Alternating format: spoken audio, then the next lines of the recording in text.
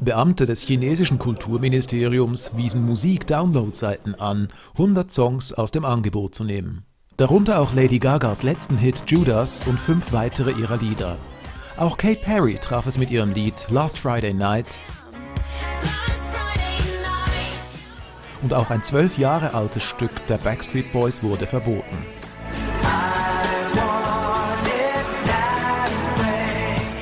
Den Download-Seiten drohen nicht weiter spezifizierte Strafen, wenn sie die 100 Songs nicht innerhalb von zwei Wochen entfernen. Die Lieder seien nicht zur Distribution freigegeben worden. Laut dem Ministerium diene die Entfernung der Lieder der nationalen kulturellen Sicherheit. Das kommunistische Regime versucht, die Einfuhr von Musik, Kunst, Filmen und literarischen Werken vollständig zu kontrollieren. In der Praxis ist dies aber nicht umsetzbar. Auch solche Verbote sind wahrscheinlich wirkungslos, denn immer mehr Chinesen verfügen über Möglichkeiten, die Internetblockade zu überwinden und die Zensur zu umgehen. Und das erlaubt ihnen, unter vielen anderen Dingen, die Musik zu hören, die sie selber hören wollen.